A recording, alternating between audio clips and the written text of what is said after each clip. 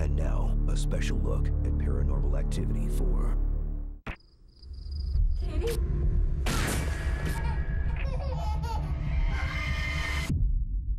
He's coming, he's coming, come on. What? It's the kid from across the street. His name is Robbie. His mom went in the hospital. So he's just gonna stay with us? Front door open. What the I don't think it was an accident. You guys want to see something really cool with the Kinect? Kinect projects tracking dots.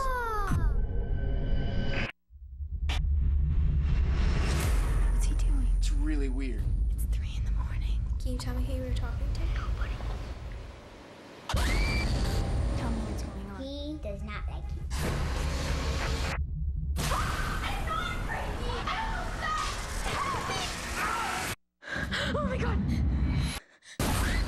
Activity 4, rated R, in theaters tomorrow night at 9.